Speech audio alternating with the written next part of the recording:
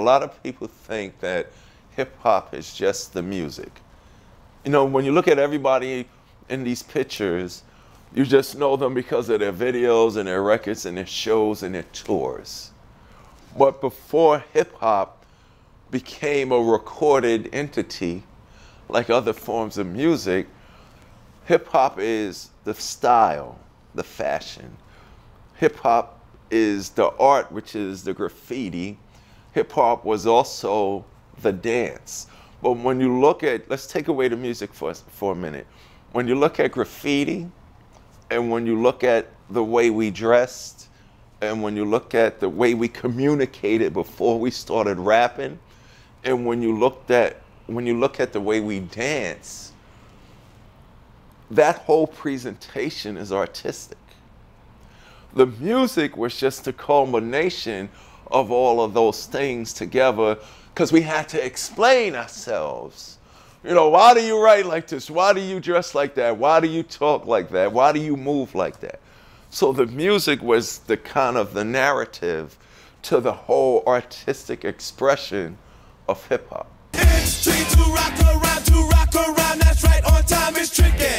What's happening with hip hop is this hip hop and not hip hop alone, everything in entertainment is using negativity as a false sense of power. The disrespect of women, the disrespect of um, rules and regulations, the disrespect of each other's, claiming that being a thug, a killer, a murderer, a thief, a liar, um, a rapist is cool is totally not representative of what we created hip hop for in the first place. A drug dealer can do a record about drug dealing, but the power of hip hop was at the end of that record, that drug dealer would say, But y'all don't do what I do.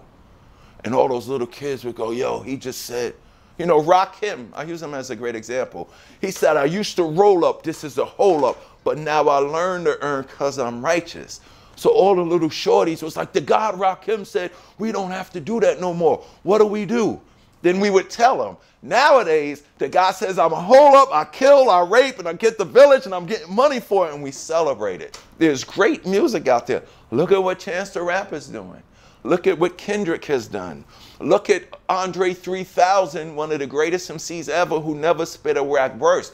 The problem is we're not putting the college educated rapping student next to the thug student that's telling the story about his hard life.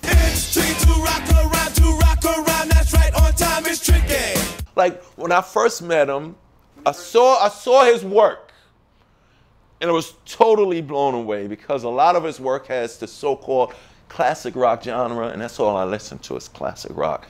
The way he operates was like it was like he was a mu- music. It's, it's like he is a musician. The same way he thinks and composes and visions and, and produces, I felt that we had something in common as artist to artist. Like I'm, I do rock and roll and rap, and he takes pictures. But when I met him, I realized that we are exactly the same people.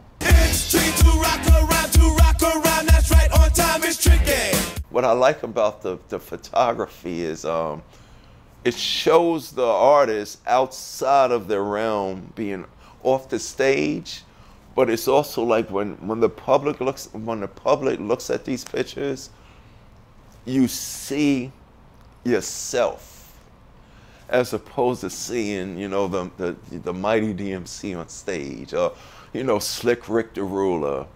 You look at um, what's around these people in these pictures, and then um, you look at what they're wearing. But just the whole, that the moment that's captured is, um,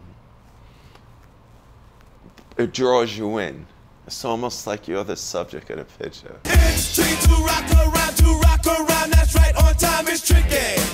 Oh wow, my favorite photo. It's a picture of NWA at the beach. You know what I'm saying? You don't see no guns, you don't see no, you don't see no beer, you don't see no liquor, you don't see no alcohol. It's, it's a picture that exposes them as just normal everyday guys.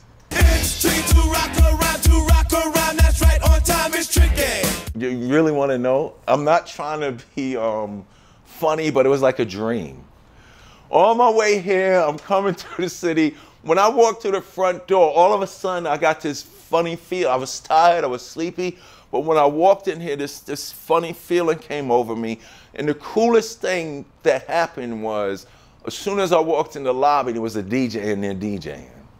So that gave me a good feeling. But the, what's going down here tonight is sight, sound, and a cultural injection of enthusiasm, creativity that culminates your life experience into something that will change the way you think about this universe when you leave the Dream Hotel.